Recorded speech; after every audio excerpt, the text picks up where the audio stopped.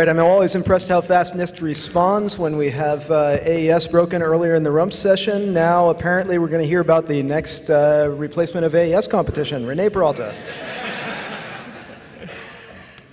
Uh, okay, hello. Um, so, we're announcing these two uh, special publications. Uh, the uh, reason for announcing them is that we, we take uh, your comments very seriously, so please give us feedback.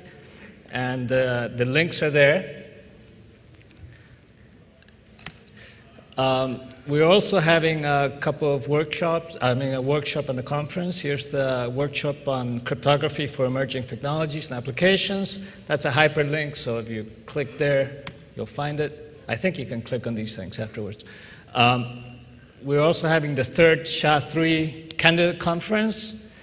Um, that's, it's going to be in March and uh, co-located with uh, FSC. Okay. We're also announcing that we're going to uh, implement a public randomness source. Um, the, um, this is, we're just going to publish random numbers every minute or so. Uh, we, um, yeah, yeah, yeah, yeah. So uh, I, have been asking for this for a long time, but it took Ron's uh, Rivest uh, request that, uh, to make it happen. Uh, so there's some chance that this will use, be used in voting, and there's all these talks on voting before. So we're very careful with our threat model, and if, and, uh, if you, you know, some of you know me, this is kind of my threat model, and it's, don't worry, democracy is safe because John Kelsey is in the team. Um, so we will survive. Uh, there's other models. Um, and uh, uh, Quinn's uh, model uh, got nixed. Uh, um, there's something about government regulations I didn't quite get, but they won't allow us with this one. Um, we, okay, so this thing will broadcast full entropy strings. We'll do it about uh, half a kilobyte bit per minute.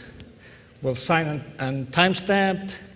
We'll link the sequence of blocks with a secure hash. This is, you know, this is so that we, we ourselves can't change it in the, uh, uh, uh retroactively.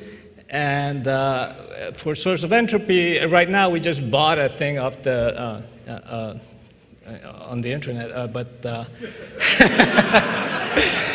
uh, for the real thing, we're talking to NIST physicists. Uh, we may actually give you this, we may actually implement this really fancy uh, entropy source, quantum stuff and everything. There's the, uh, the prototype architecture. You got firewalls, databases, and all that thing. There's the team, Larry Bassham, Michaela Iorga, Mike Fischer at Yale. Uh, this is because he and I had this, you know, tried to get this funded and couldn't, but now NIST is allowing us to do it, so good. John and myself, time frame, this year we plan to complete a prototype. The contact and the team leader is Michaela Iorga, and there's her email, so send her mail.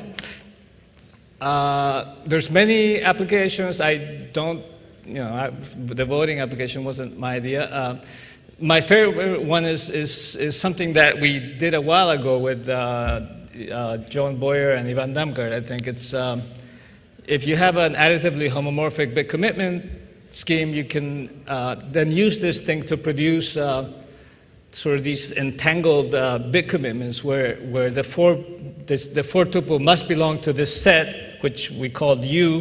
And the, the point of this set uh, is that uh, there's a linear transformation from this set to correct input output bits for any binary linear gate.